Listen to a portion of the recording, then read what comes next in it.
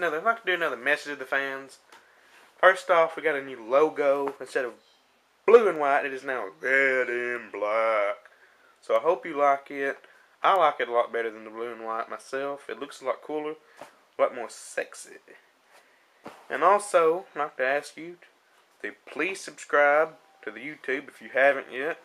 Like us on Facebook by looking at Hillbilly Hound Dog. And follow us on Twitter at twitter.com slash HB underscore Hound Dog. Hound Dog. Anyway. And also, remind you that Hillbilly Hound Dog Spring Break it's March 26th through the 30th. So stay tuned and in one month for that. There's some crazy stuff, new videos, awesome videos.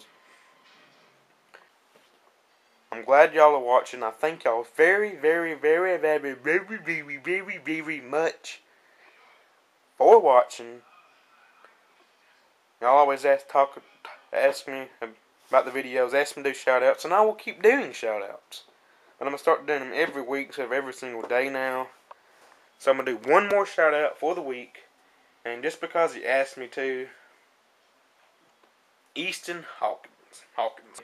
Shout out to Easton Hawkins. One of the most annoying, annoyingest, is it even a word, annoyingest? One of the most annoying people I know. Oh my god. Easton Hawkins? Easton Hawkins? You know about Easton Hawkins? Oh, Easton Hawkins? Easton Hawkins? Easton Hawkins? Easton Hawkins? Easton Hawkins? Anyway. Mustard, mustard, oh how I love mustard.